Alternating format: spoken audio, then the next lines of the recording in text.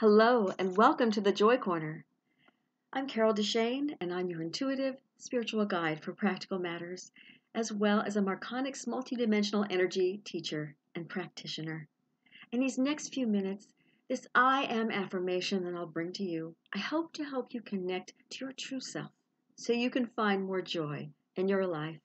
And if you like I am affirmations as a tool to use, just one tool that you can use, for reaching your subconscious and you'd like to have more, by all means, please subscribe to my YouTube channel.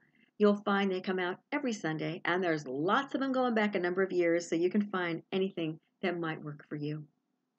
This week, the I am affirmation is something that anybody who's spiritual would really like to have be their truth.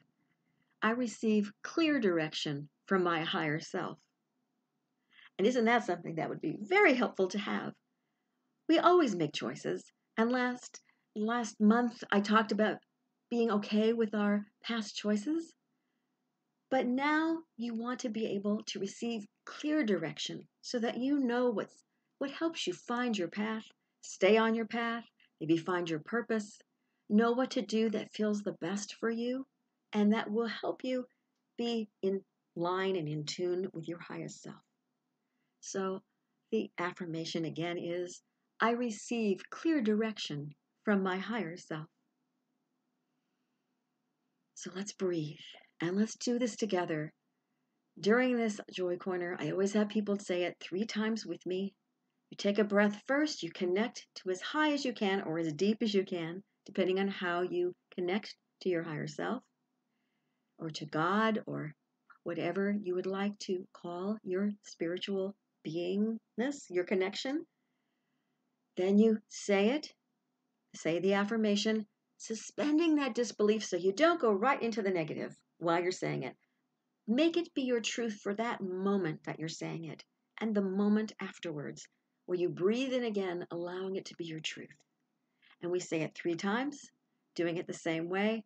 You can do it five times if you like, but here together we only do it three times. So here we go. If you want to close your eyes, feel free so you can connect a little deeper or a little higher. I receive clear direction from my higher self. And breathe that in. And then breathe again. I receive clear direction from my higher self. You might choose to say from Source or from God, Muhammad, whatever you choose to use from Buddha, I receive clear direction from my higher self. Allow that to be your truth And just that moment afterwards when you take that breath. And as I said, you can do this three to five times. You don't want to do it too much more because it's hard to suspend your disbelief in too many moments in a row at first, if it's a brand new one. But you might want to do it twice a day if you really want it to have happen. Take notes, put it on post its wherever you see them, whatever you need to make it work for you. Because most of us who consider ourselves spiritual, we'd like to have more clear direction. We want to know where we're headed. We want to know what our path is. We want to know what we should do next.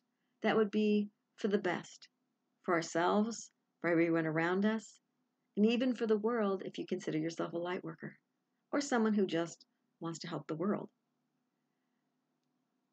If you ask for clear direction, and most people don't really ask. It's so funny. They pray, they wish, they but they don't ask with a clear, this is my truth. I receive clear direction from my higher self. I allow this to be my truth. I allow this I ask if this is my truth, and yet I also kind of demand it because it already is true.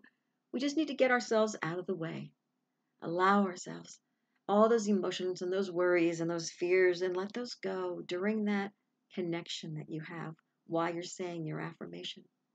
Because truthfully, the only time you'll receive clear direction is when you can get some of those rose colored glasses and all those screens and the imperfections and those things that we put in front of ourselves the worry, the fear.